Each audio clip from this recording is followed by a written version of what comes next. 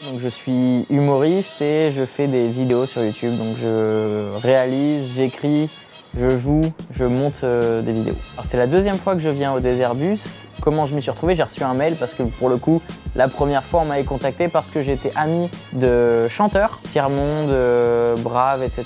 qui sont venus et, euh, et en fait on leur a demandé est-ce que vous avez d'autres personnes à inviter ou à qui on peut faire passer le mot, qui ont une communauté? Ils m'ont appelé et du coup j'ai dit oui direct. Et là cette année quand j'ai su que c'était pour Petit Prince, je voulais absolument en être. Ça s'est super bien passé, en plus j'étais avec Carole que je connaissais déjà donc c'était un plaisir de passer du temps avec elle.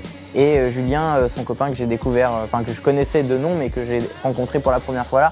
On a passé un bon moment parce qu'ils sont agréables, ils sont souriants, on était bien encadrés, on est là pour une bonne action. Euh, les gens réagissent en plus sur les hashtags, donc on a, une vraie interaction avec eux. C'était un moment plaisant. Euh, tu as envie de faire des actions comme ça plus souvent. Moi, je trouve que l'association est hyper utile parce que j'ai été moi-même un enfant malade et j'en ai bénéficié. J'ai passé euh, un an et quatre mois à l'hôpital. C'est vraiment cool parce que tu as tout un temps où tu te dis bon alors c'est quoi mon rêve, qu'est-ce que j'ai envie de réaliser, etc.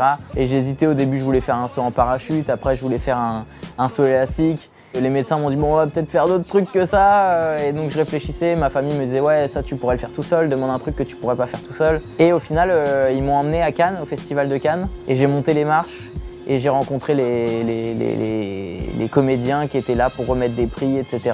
Et moi j'étais un gamin de 15 ans euh, qui les a rencontrés, qui était là pendant qu'ils remettaient leurs prix et qui les voyait fumer leur clope et qui discutait avec eux. C'était vraiment un super, un super souvenir.